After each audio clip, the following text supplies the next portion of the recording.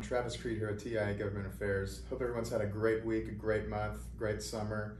Uh, I was sitting in my office just now and was wondering, gosh, policy forum is right around the corner. I wonder who's going to show up this year. So far, the numbers are great. Really encouraged to see a lot of you coming. If you haven't, I'm inviting you right now to register on TIAnet.org, September 16th through 18th here in Washington, D.C.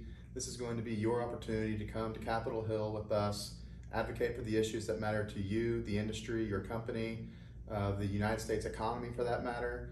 Um, super important that we have numbers um, with, with you coming. So please, if you haven't already, go to our website, sign up. We'll see you in September.